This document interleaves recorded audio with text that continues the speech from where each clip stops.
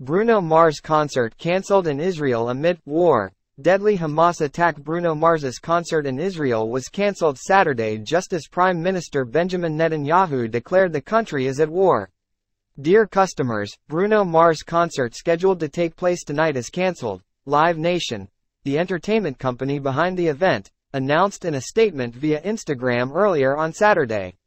The social media post, translated from Hebrew to English, read, all ticket purchases to the show will receive an automatic refund to the credit card through which the purchase was made.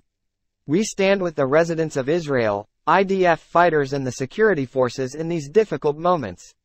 Mars, 37, was set to hit the stage for the second night in a row Saturday at Yarkon Park in Tel Aviv. The Locked Out of Heaven singer celebrated his first night in Israel with a post on Instagram Friday that showed him overlooking a large crowd with his arms open wide. Last night musical notes, he captioned the pic.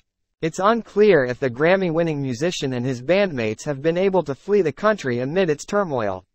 The militant group Hamas carried out an unprecedented attack on the Gaza Strip at dawn Saturday, killing at least 40 people and leaving hundreds wounded.